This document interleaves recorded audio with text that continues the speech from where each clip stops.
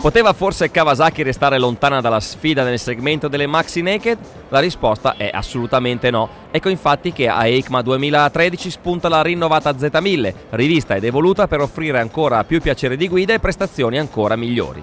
Il lavoro dei tecnici giapponesi si è concentrato sulla ciclistica con evoluzioni sia all'impianto frenante sia alle sospensioni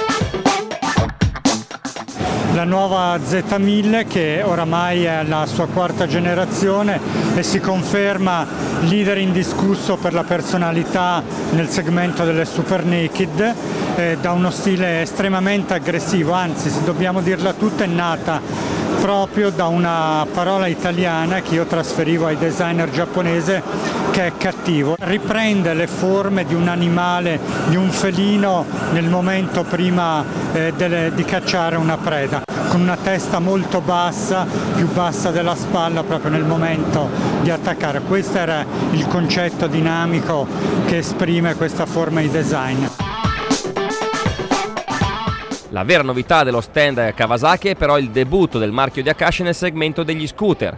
Il J300 sembra essere solo il primo passo.